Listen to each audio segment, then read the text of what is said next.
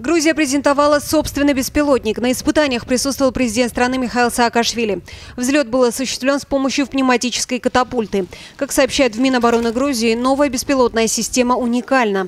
Она была испытана в сложных погодных условиях. Самолет собран на основе самых современных технологий. Он может быть использован для пограничного патрулирования, разведки, воздушной съемки, мониторинга зон стихийного бедствия, проверки уровня радиации. Длительность полета 8 часов. Беспилотник может летать на высоте до 3 километров и со скоростью от 60 до 160 км в час.